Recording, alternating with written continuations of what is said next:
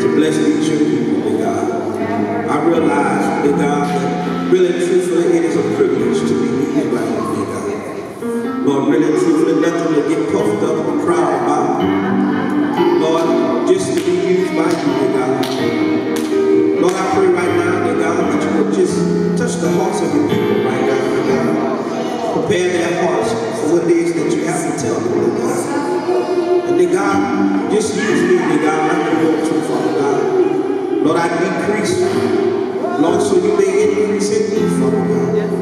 It is my prayer, dear God, that your people see only you and none of me. Lord, I pray right now, Lord, that you just touch my mind, touch my heart, touch my soul, dear God, to utter only that which you have in people to hear. It is in the mighty, blessed, and wonderful name of Jesus that I do pray. Amen. Amen. Amen. Uh, this morning, I don't know why, amen, this morning, uh, but I, I, I, feel led that God brought me right back to a scripture that I preached previously, uh, but he showed me something else to pay attention to. Nehemiah chapter 4, verse 6.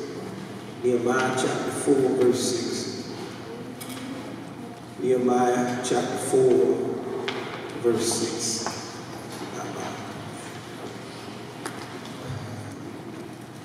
Word of God says, So we built the wall, and the wall was joined together to have its height, for the people had a mind to work. Amen. Amen. I want you to turn to your neighbor, amen. I want you to give them a real big pretty smile, amen, if, you, if you're not too deep, amen. And I want you to tell them these words, neighbor, neighbor, oh neighbor, oh neighbor, with the help with the help of the Holy Spirit. of the Holy Spirit, Preach will preach from the subject. from the I subject. don't mind. Amen. You may be seated. Amen.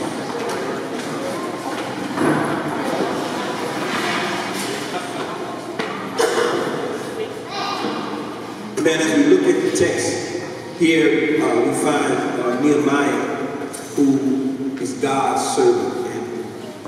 We already set up what happened with Nehemiah, but just do a brief uh, introduction as to who Nehemiah is and what happened and kind of get us to this point. We know that Nehemiah was a prophet of God. And we know that Nehemiah was one who really truthfully, who had a heart. He had a heart to serve God. And what we've got to understand, God used Nehemiah in a time where God's people, God's chosen people, Israel, um, they was in a bad fix. Um, they was in a bad fix because of some decisions that they had made, and some things that they had done, and they had turned their heart away from the will of God. And it put them in what we call bondage, and they went into Babylonian captivity. And what happened was when those that raided them and invaded them went in, they destroyed Jerusalem. Jerusalem was destroyed along with the wall. And in the passage right now, we have Nehemiah. He got word that the wall was down, that people were kind of discouraged, things weren't where they should have been with God's people. And it grieved him, it hurt his heart.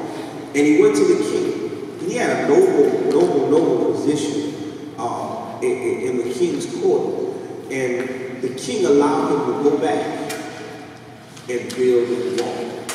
And here it is, you have Nehemiah building the wall that was what torn down in the city of Jerusalem. Now, when we look at Nehemiah and we look at what he did, it was something great because really, truthfully, it was only God that actually helped them to do this. Because really, truthfully, how many of you know when it is something that seems kind of hard to do, you know it takes something extra for you to actually go forward and what get it done. All right. Well, what are you going to this passage? How many of you can say that there's some things that need to be done that really the average man will say, oh, I am worried about that. Right? If you think about a wall around a city, okay, think about that. Right? And Nehemiah wanted that built because he knew that was something that needed to be done for the city. And Nehemiah had it in his heart to do it. And right here at this point, they had built the wall up to halfway. Right? Collectively had built the wall up to halfway.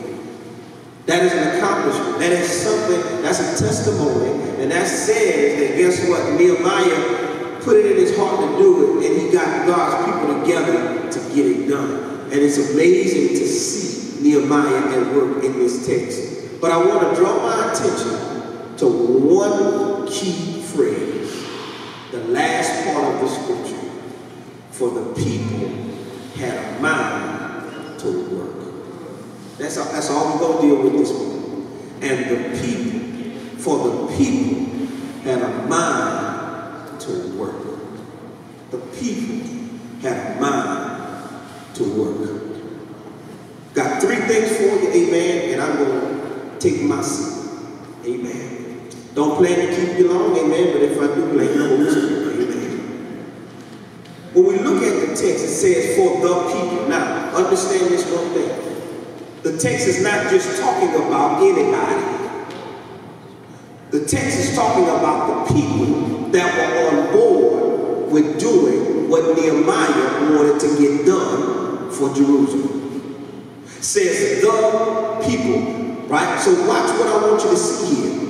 When it says the people, you got to understand the people in this text had a common goal and a common aim in mind and they weren't just working haphazardly, they were together because why? They had something that they were working toward, but collectively. Right? The people. The people. Right? And we know this was God's people that actually were in exile and now coming back to fix to fix the wall. Okay, preacher. What are you trying to get? The people right? Well, how many of you know, really truthfully, when we look at the people, we can put ourselves in the text. Who pastor? Us Us See now, I don't want to give the wrong impression. Okay, I don't, I don't promote, I don't promote hate. I don't promote racism. I don't promote treating another group of individuals the wrong way just because you don't like the way you look. But I do believe that when you have a common connection as a group, that guess what? You are not letting nobody else make you feel bad about it. So when you look at uses, uses got history. When you look at uses, uses have a common bond.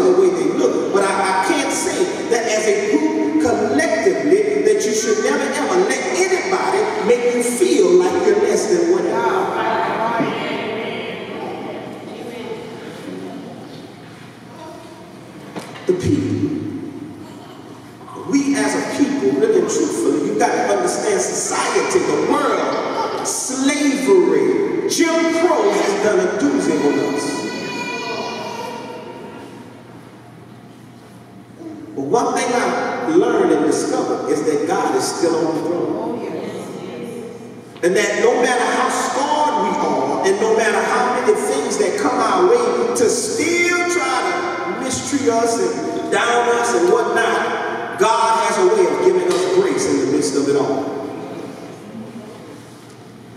But us,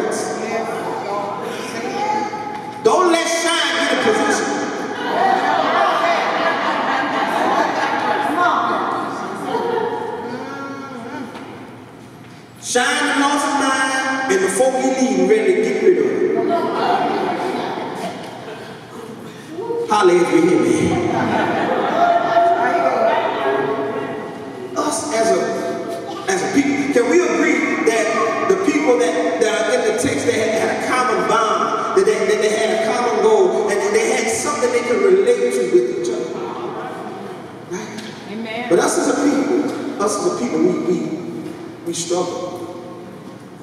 How many of you know really truthfully? We struggle sometimes because we don't even like how God is as a people. As a people. One thing I did, amen, as a young man, and I thank God for it. And if my kids can tell you, some of y'all don't think this is trivial.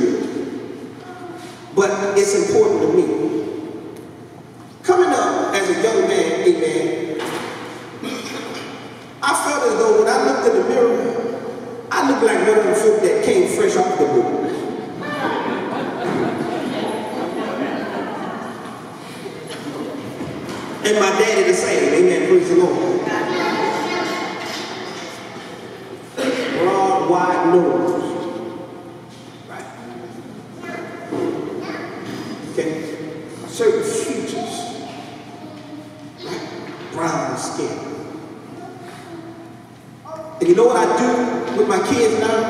And they'll tell you, we'll watch a TV. Somebody come up on the TV with a real broad nose that got the same skin tone as us. I said, look at you people. That's your people. Fancy. See, some folk would think that's nothing, but it's something. What it does is it causes you to appreciate who you are.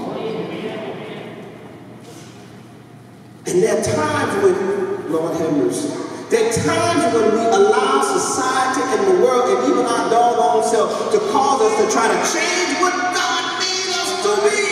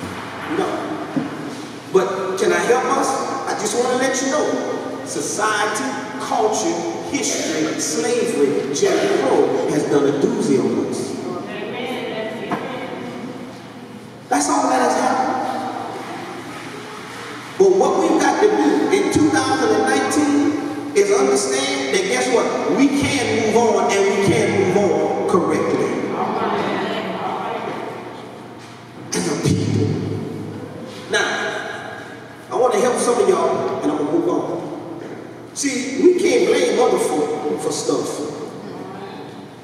And we ain't got our stuff together.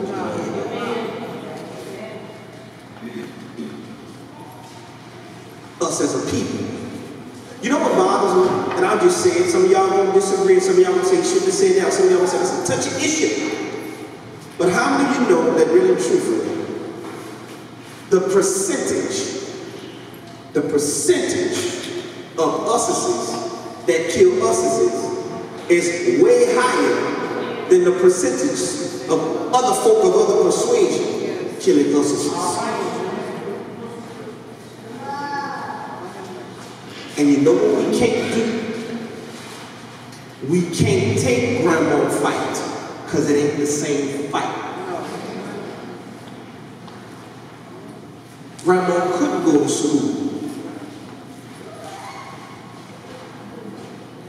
Grandma couldn't get a decent job. Grandma couldn't go to the, to the, uh, uh, the school she wanted to. That's right. Now you can't. What's the excuse?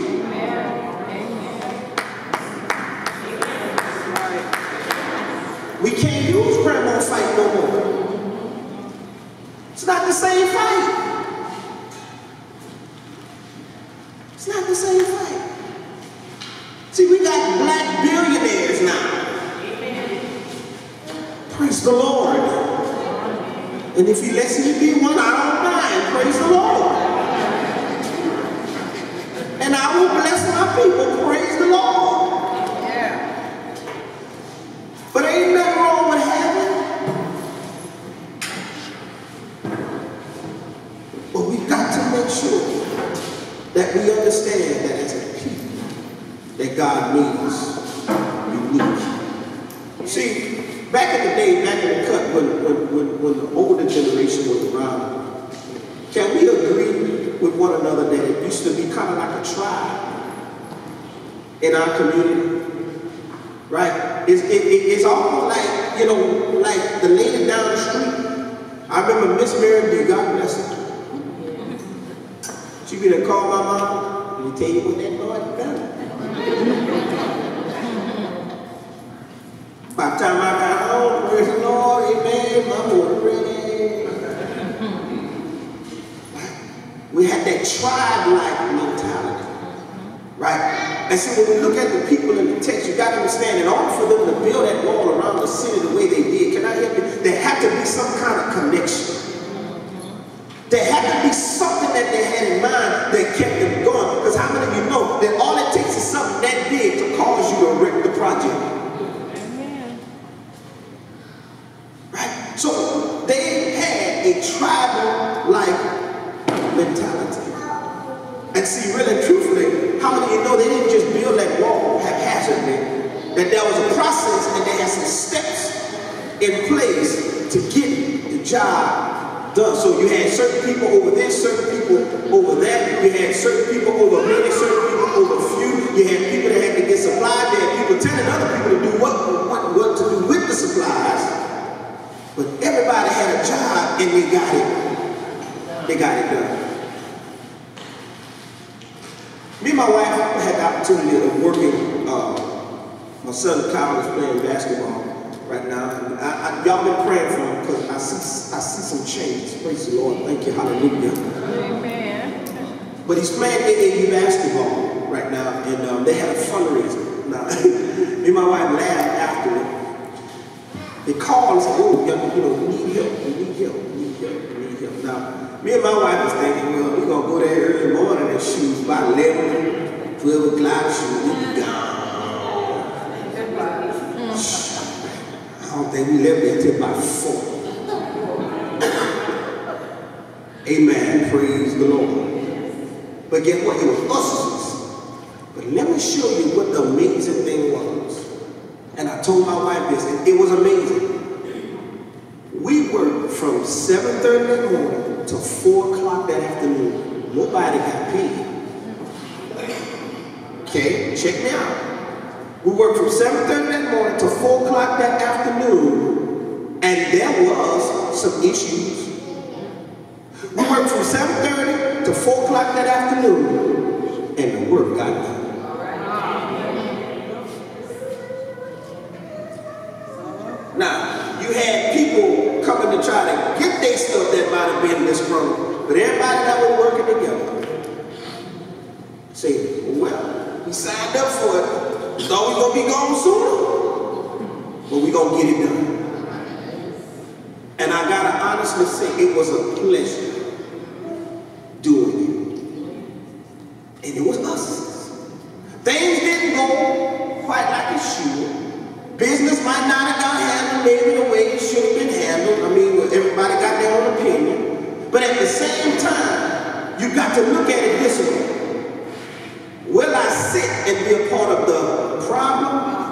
or will I be a part of the solution?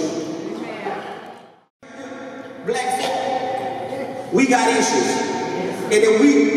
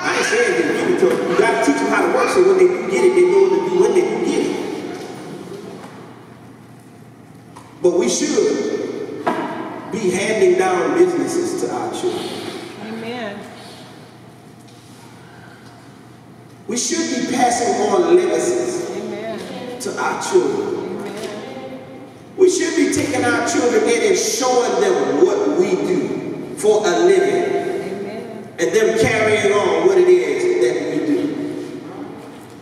They had a tribal enterprise. And they were able to work together to get the job done. They got it done. They didn't, it wasn't without heartache and pain, but they did it. Okay? Here we go. Since the people had a mind, let the people say mind. mind. They had a mind. Say mind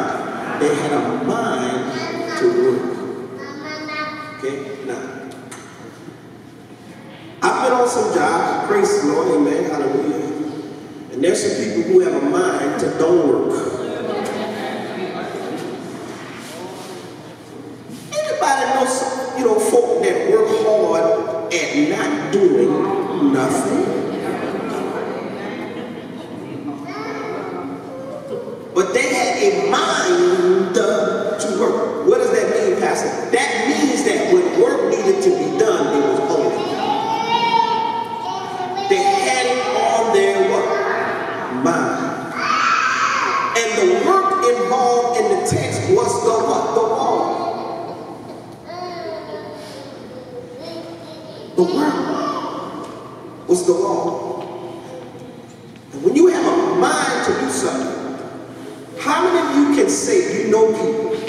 Praise the Lord. And y'all probably said that about me. You saw them walking.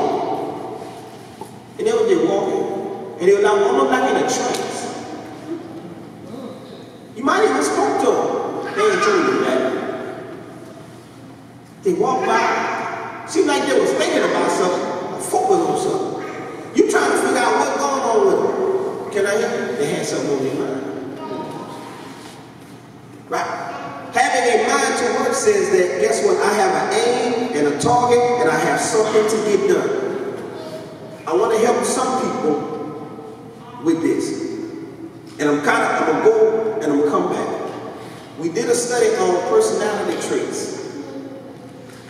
Who are goal oriented, right, sometimes seem insensitive to people who are not. Because what they worried about, guess what? They ain't studying about what you think about. Because you know why? They're not just looking at the right there. They got a further down picture that they're looking at. See, they have a mind, they have a goal, they have a vision, they have a direction, and they're trying to get from point A to point B. Now, if you're worried about something that really won't affect them getting from point A to point B, they're going to really treat what you have to say like it ain't about nothing. Don't get mad. Don't get mad. Just understand that guess what? They have a mind to do what they've set their mind to do, and they're not going to let nobody and nothing stop them. All right? Here we go. So why? They had a mind to work. Know in the text that they had a trial in one hand, and they had a sword in the other right? Because they had something to do. They had something to accomplish, right? They had a mind, a mind, a mind to work. I was able to coach basketball this past year. Didn't like the way the season ended because many of you know that I, I, I, I had to go to the hospital, amen. Didn't like the way it ended, didn't want it to end the way it ended, but at the same time it ended the way it ended. But at the beginning of the season, I looked at the fellas that came out to play. And they was all my height. Y'all can laugh. it was all my height. And I'm like, no, what am I going to do?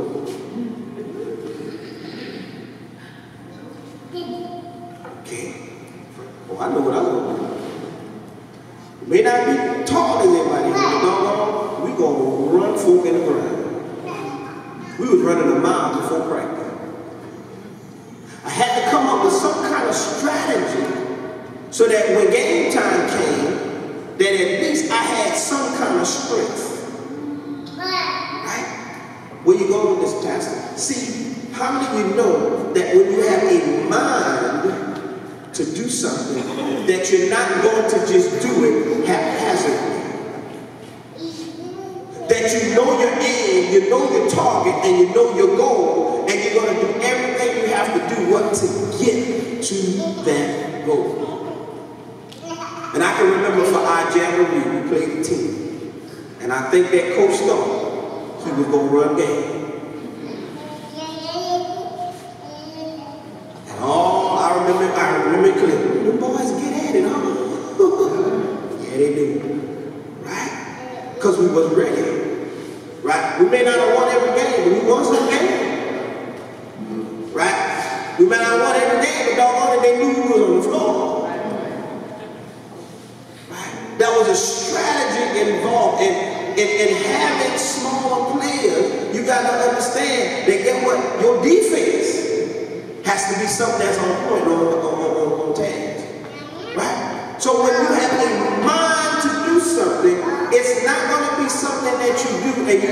All, all out the way. You're going to have a talk and an aim. They had a mind to work.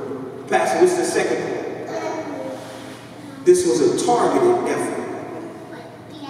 This was a targeted effort. First, the tribal enterprise. Second, it was a targeted effort. The last one, the people had a mind to work. Okay, a mind to work. A mind to work. To work. To work. To work. To work. See, you got to understand that really and truthfully. All work is, is putting forth an effort to do something. Okay? But how many of you parents can testify that there have been times when you asked your children to do something? and when you ask them to do something, they took their time in doing something that you told them to do.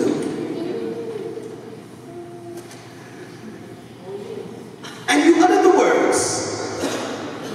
I don't know what's on your mind. I don't know what you got going on with you. but you better put some pepper. in your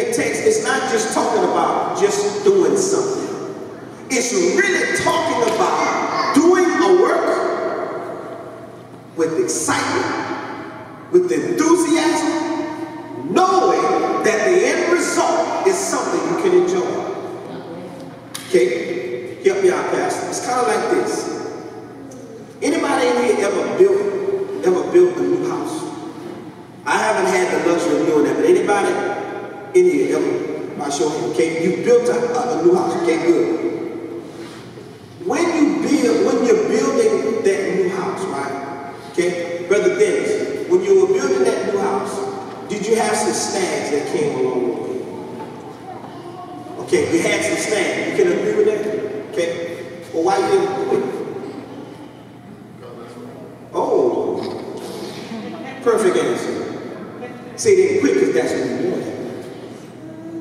That's what they got to do with the text. Got everything to do with the text. See, the, the work that they're talking about in here, they wanted the wall built. So no matter what came, they were going to do what they needed to do to see the wall finished. Amen.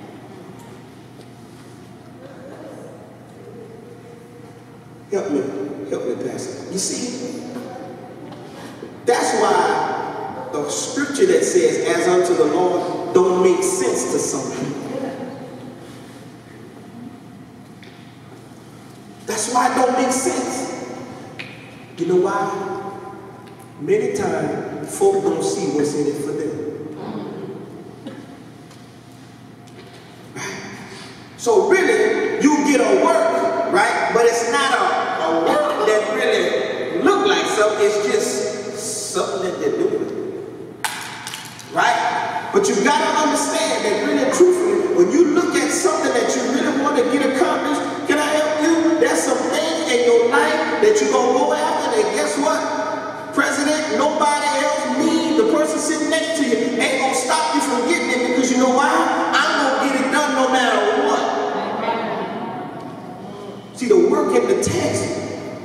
Work that they wanted to see what? They wanted to see the end result.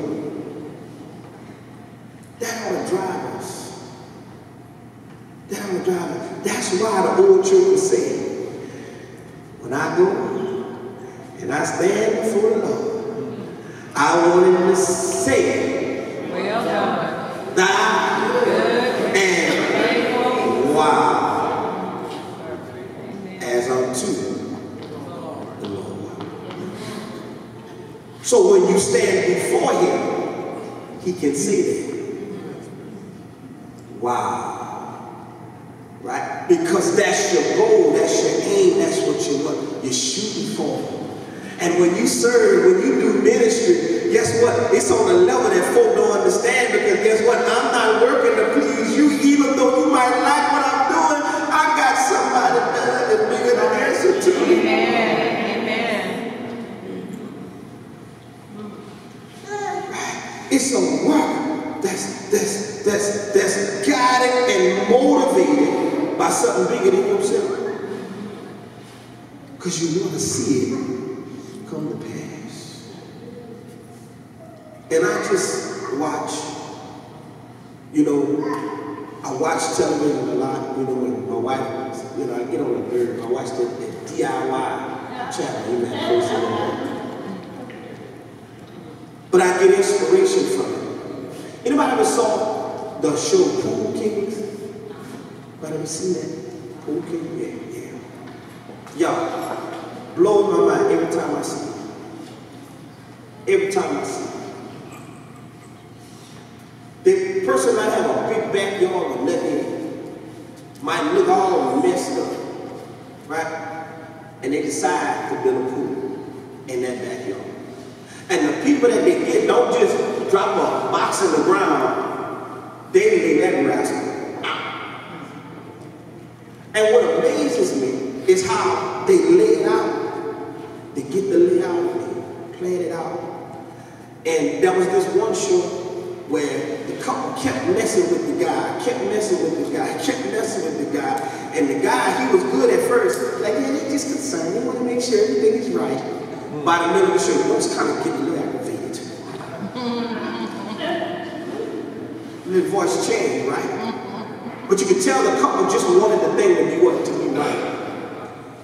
Okay? Didn't stop. They kept going. They wanted to see the end result. And when they saw the end result, I didn't think the that lady, boy, she was, she was, she was, yeah, she was a high mess. I didn't think she had of the crowd. She was by the end of that show when she saw that pool, that woman cried like a baby. Right? But you gotta understand that, guess what? Her main objective, her main goal was to see that pool look like she wanted it to look. A mind. A mind to work. See, a mind to work is not just misguided. A mind to work says that I have a target and an aim and something that I'm shooting for and a vision that has been laid out. And now, guess what? I'm gonna do all I can and fight to get it. Okay, Pastor, what's the last point? That was a task for enthusiasm. That was a task for enthusiasm. A task for enthusiasm. I see what we got to always remember what we're, what, what we're motivated by. Right? We should never ever let pleasing others be the sole purpose of our motivation.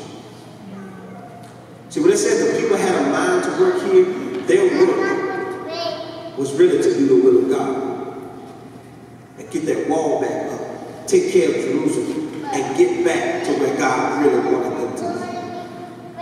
They have mind to work. And as I close, I just want to kind of summarize what I've shared with you. When we look at ourselves as a people, as a group of collective individuals with common things and common relationships, we've got to understand that as a people, really and truthfully, that we cannot walk around as if we are the lesser. We can't allow ourselves to feel inferior to anybody. But never walk around like you're superior to no one. Because really truthfully, we gotta always look at we are all God's creation. And people of God and us as a people, we got to do better. We ain't got to say, man, I know I'm right. We got to do better. And one thing we've got to do better is this one thing. As a people, we can't no longer make any excuses. Not on this. Because they're saying opportunities, the same things, whatever it might be, you have access to. And you serve an awesome God.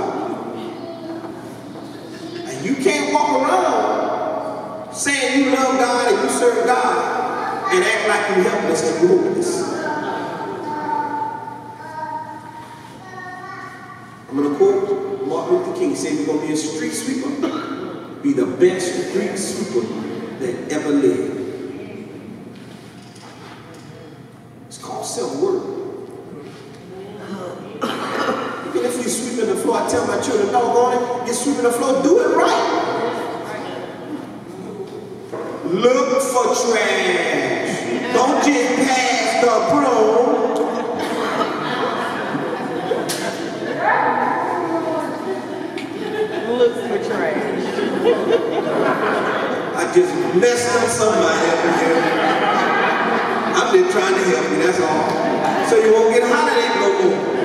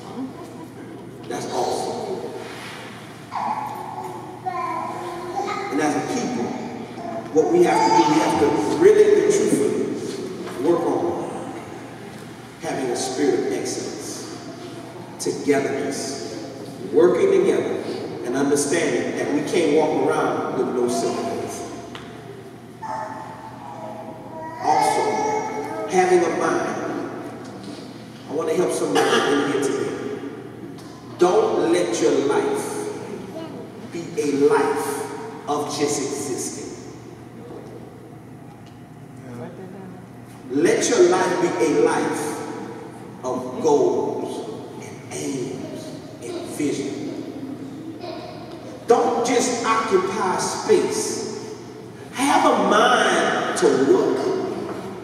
And even if you don't have much,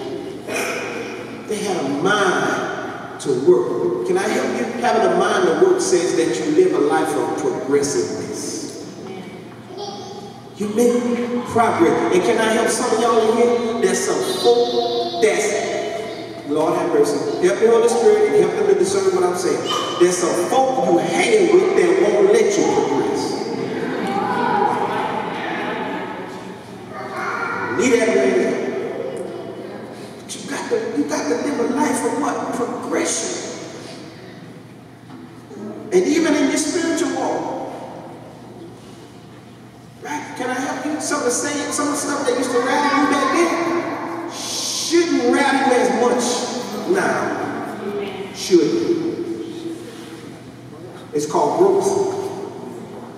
Ooh, Jesus. But you can only grow if you practice. Oh, okay. Yeah, you got to actually practice what the word says. Amen. Praise the Lord. I thank the Lord got it out for me because every time I say something, He put me in a position to practice what I preach. Every single